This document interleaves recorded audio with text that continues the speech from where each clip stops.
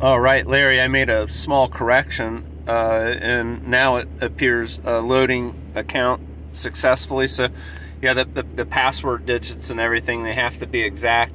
Uh, sometimes you might utilize your uh, four-digit code right here. See, it says login without security code, login with security code. Uh, let's log in without security code ooh, it's asking me for it. So uh, th that may be a, a, a precursor there uh, uh, that we need to. It's always going to ask me for that. So uh, deactivate private mode. Next.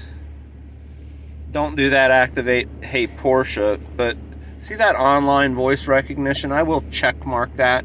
When you're using your phone, it's going to uh, kind of help with uh, any of the Google or uh, Apple uh, voice command that, that, your phone is recognizing your, your, your voice and articulations. It's going to help. Uh, remember I said about hieroglyphics. See these three dots right here?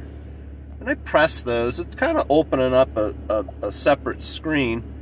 And then if you'll notice, and I press and hold, I can move that tile and drop it and then you can have your own kind of particular uh, menu set.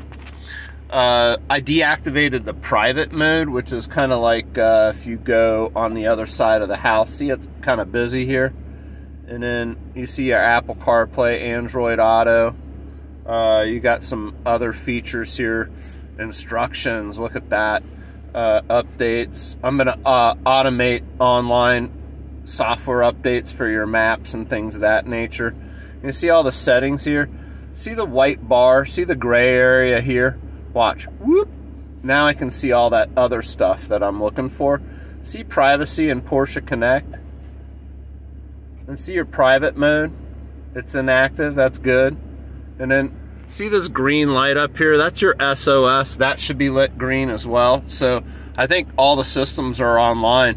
Uh, you should be able to uh, go into your app, log in with the same information you provided me, and then um, uh, when we meet in early April, uh, I'll show you how to log in without using your security code, and we'll just tighten up a few things, okay? Uh, you have a great time in Florida. Uh, I'd be remiss to tell you I am a little bit jealous, maybe a lot. Uh, have a good time, and we'll see you soon.